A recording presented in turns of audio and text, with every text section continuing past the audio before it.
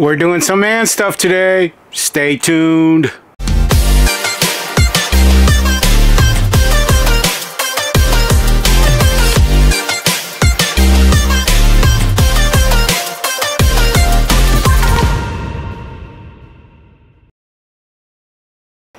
Welcome to my channel. In today's episode, we're tackling creating a siphon tube for your chem chemical tank. Let's jump right in. Uh, these are the materials. Again, guys, I got everything, pretty much almost everything at Lowe's, and this is what you're going to need. This is a two foot. You buy this in the plumbing section of, I got it at Lowe's. You can get it at Home Depot, but this is a um, two foot one and a quarter one and a quarter inch wide pipe again two feet and then you're going to buy an elbow. You see that guys? An elbow which is also one and a quarter. You're going to buy a plug which is also one and a quarter. And you're going to buy a cap which is also one and a quarter. And then at the very end this is what the siphon tube at the very end is going to look like. Okay so this is kind of our objective is to create this. The other thing that you're going to need, guys, is uh, your siphon hose. Again, I bought a Lowe's. And all you got to do to remember is the ID, the interior diameter, the, the inside diameter, one and a quarter, and the outside diameter, three eighths. You'll see it on the actual label. ID, one and a quarter, or a quarter, not one and a quarter, but a quarter, and then OD, three eighths. So one quarter and three eighths. And then the other thing that you're going to need, guys, is um, you're going to need a, a, two drill bits, quarter inch and a half inch drill bit. You're going to need some, you can get, it doesn't have to be this brand, but it can be any, but you're going to need some uh, plumbing uh, cement for a PVC cement. The other thing is, uh, this is are the only two things to do this to do this siphon tube that we could not find at Lowe's so we buy a bunch of these on Amazon this you buy on Amazon you see that piece guys it's got a little hose barb there. So this is also one and a quarter and three eighths. So that's easy to remember. Now this little guy right here this filter guys I ordered this on pressuretech.com I've mentioned it before in other sites. It's a it's a I mean in um, in other videos and it's a site where we get a lot of our equipment, chemicals, and, and so forth. But anyway, I will put the, the, the link to it here on the screen now. So go ahead and order that. Again, uh, pressuretech.com. You see that? It's a quarter inch filter. Okay? So you got that there, and we got this. Next, you're going to need, for this project, you're going to need, well, let me tell you this, guys. If you're serious about uh, owning a or starting a pressure washing business for beginners, there's two basic drills that you're going to need. You're going to need a regular drill. We just go with DeWalt because we love DeWalts. They're super sturdy. But you're also going to need a heat gun. You will not be able to survive in a pressure washing business without a heat gun. We use this for all kinds of plumbing purposes and you're going to see today when we create our siphon tube for the pressure washing business okay so let me show you the last thing that you're going to need guys is going to be a big shocker to you guys. You would never assume this or you would never think about this. Cat eye marbles. Again I ordered this from Amazon. It came in a bag like this. Cat eye marbles. They're super tiny marbles and you'll see in the end uh, what we use these for. So the first thing that we're going to do here, guys, with our siphon tube, it's very important. When I first started uh, my company, um, I ran into an issue where the siphon tube, like, it, you know, I would put the, the tube through here and then I would just dump this in my chemical. And then for whatever reason, my chemical would stop working. I'd go to the tank and what it was was this would be floating on the top. And I'm going to show you guys how we solve that problem. So here you go. First thing you're going to do, oh, and by the way, guys, whether your shop is in your garage, your basement, uh, maybe a shed in the back, or you have a storage uh, unit somewhere, you want to make sure you get yourself a good vice grip. We got this one. I mean, this has been on here probably, oof, at least eight or nine years now, and it's we got this originally at um, Harbor Freight. I think it was like 50 or 60 bucks. But anyway, you will not survive very long in a business without a really, really good vice grip. So here you go.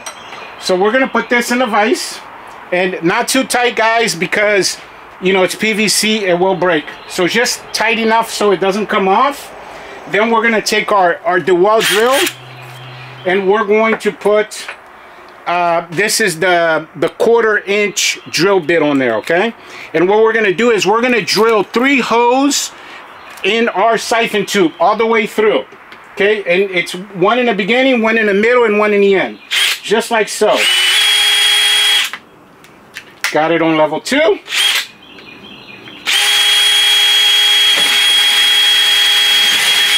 Just like that. Hole number one is done. In the middle. Just drilled the middle one. And there you go guys. So if you if you look on here uh, I've drilled three holes in a pipe and it's all the way through. And the, the purpose for this guys is so the chemical can also get in here and air can get out. So the, the reason why these things will float is because air traps it in there and it floats to the top. So we solved problem number one. But now we need to weigh it down hence the marbles. So this is how we're going to do it. The next thing that we're going to do after we've drilled our PVC pipe we're going to change our drill bit from the, the quarter one to the half inch one. Like so. So we got the half inch drill bit in there. Like so. Ready to go. And we're going to start with the cap. We're going to create our holes for the tubing to go through. Again, guys, you want to be as gentle as possible here with the vice grip because, again, it's PVC. It will break. Take your drill right in the middle you want to make a hole.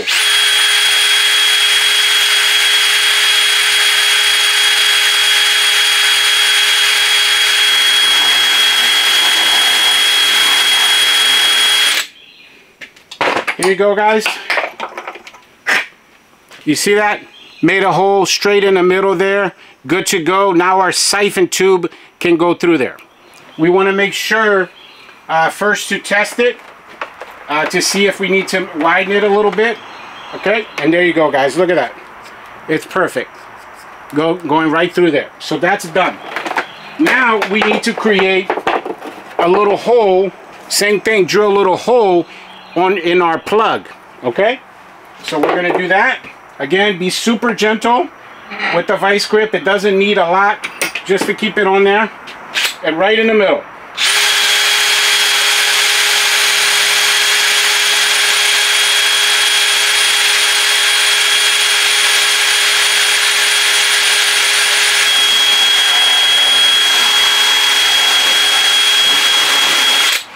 Again, guys, super gentle. It's not one of those things you can do in a hurry. And it only takes, it only takes about, you know, 15, 20 minutes to really create one of these. So, and I'm walking you guys step by step how to create your own siphon tube for your chemical tank. So you can see in here, guys, um, right through the middle, we're good to go. We're also going to test this one out just to make sure. And there you go, guys, right through the middle. You see that? Right through. So now we now the next step we're gonna rip this little tag off because when we put it in uh, in the, the pipe it's gonna it's gonna block our path there. And this this by the way guys is 20 feet. Very important. Do not cut this to to to maybe uh, because you truck you only need four or five feet and you think you only need four or five feet.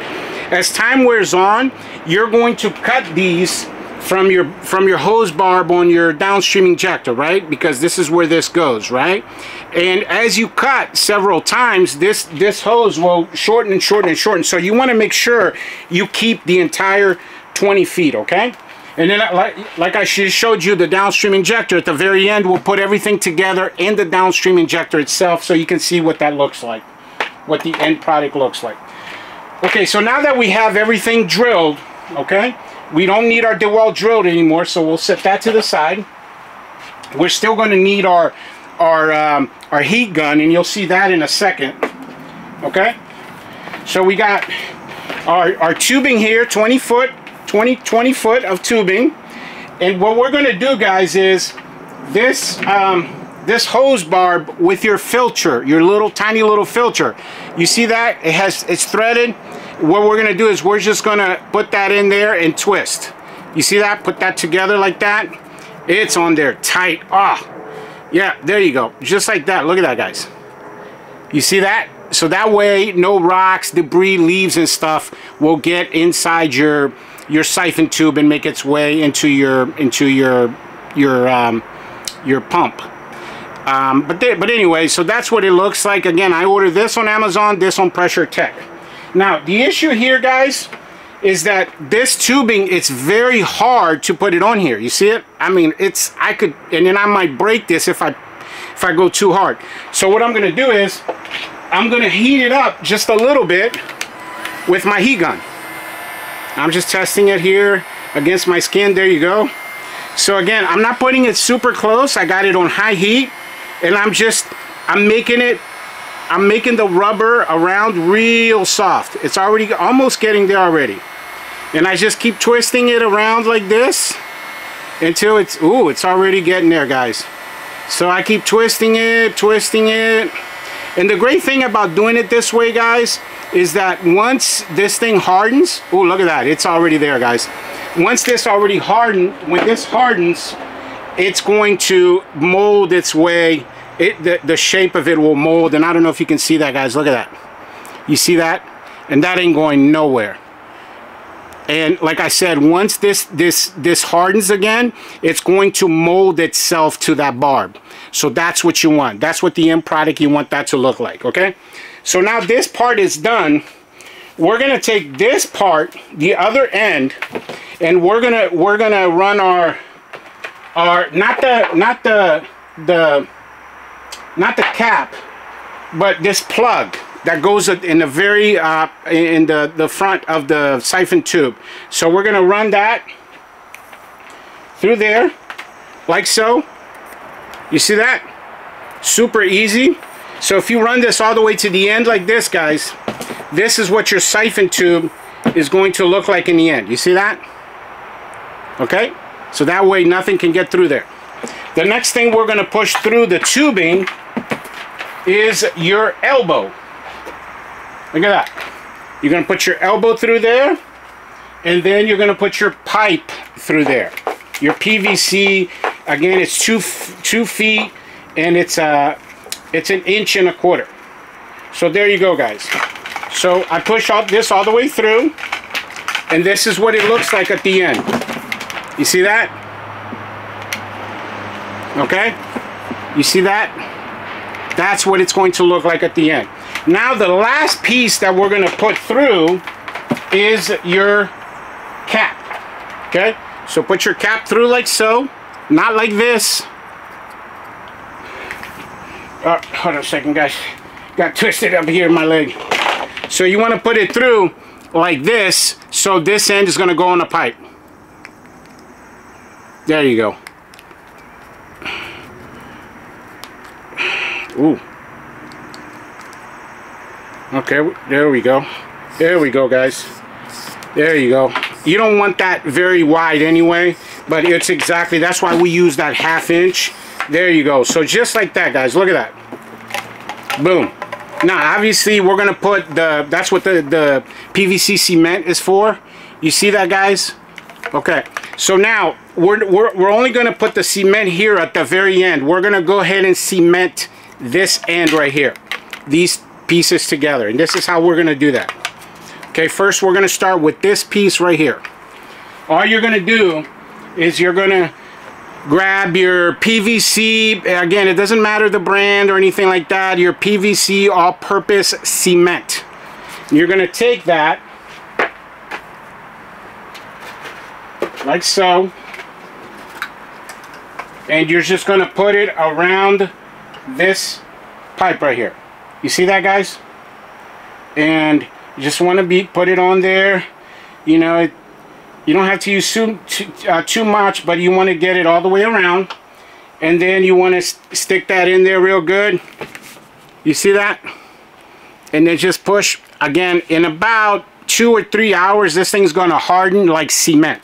Now we're going to do this side right here. Look at that, guys. Just like so. Just like so.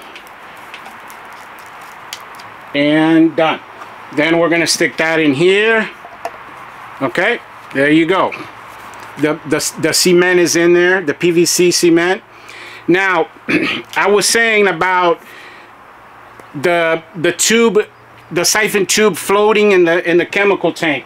That is why a few years ago what I did to fix the problem is I switched to putting marbles in there and again, what the marbles do is it weighs down the pipe. You don't have to put a whole heck of a lot. I would say about maybe 20. That's kind of like what I do. I've already put about six, seven in there. This is going to be about 15 marbles. It's already getting kind of kind of heavy already. So I'll do about, I would say about four handfuls. This is my third. Okay, there you go. Again, you're ordering cat eye marbles. It's a bag. I think I paid like five or six bucks on Amazon. And there you go. One more. You see that? It's a handful of about eight or nine. Just like that. I put the marbles in there. Boom. Okay. I don't know if you guys can see all the way in there. But it's full of marbles already. It's about to about right here about right there full of marbles and you have your holes so your air and then also your chemical can get in there and chemical will still come out but this there's no way that this is going to uh, float to the top this will stay at the bottom of your tank next guys we want to put PVC cement right here hey Waldorf there's a new 7-Eleven so here you go right here St. Bam Drive. Find all your favorites like Big Bite hot dogs, pizza. There you go, guys. And that's that's pretty much all you need to do, guys. To get back on the go. That's all you need to do here. Check out what's new with coffee from Sub. And then we're gonna put this together right here. Bam. Wow. There you go. There you go. You see that, guys? This is for any tank. It doesn't matter if you have a a vertical tank, a horizontal tank. Our tank happens to be a 50 gallon horizontal tank. But this is good to go for any tank. You see that? And then this will go in your in your sauce. And then this other end, end here, you know, for you guys that are, you know, first year in the industry, that is your downstream injector, guys. That's why we call it downstreaming because it comes from the name of this part. This is the part that actually draws the soap. And all you got to do is just stick that in there like that. You put this, this end in your machine and boom, the chemical will shoot out on that end. And there you have it, guys. Congratulations, you just learned how to make your first professional siphon tube.